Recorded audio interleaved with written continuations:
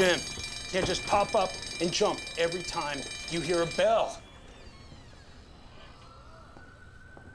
GCPD, anybody here? Uh, over, over here. You all right, sir? You okay? Thank God you're here. Anybody dead? I don't think so. Some guy. He was stealing milk.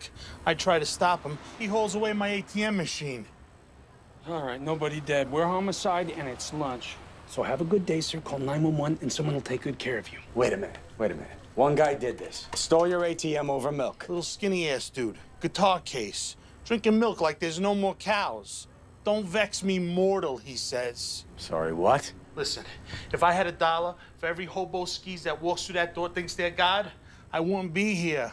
But this son of a bitch, he wasn't fooling around. All right. You get a description of the vehicle, license plate, something? He didn't have a vehicle. Then how'd he pull your ATM from the wall? How'd he take it away? That's what I'm telling you, man. He pulled it out of here with his bare hands.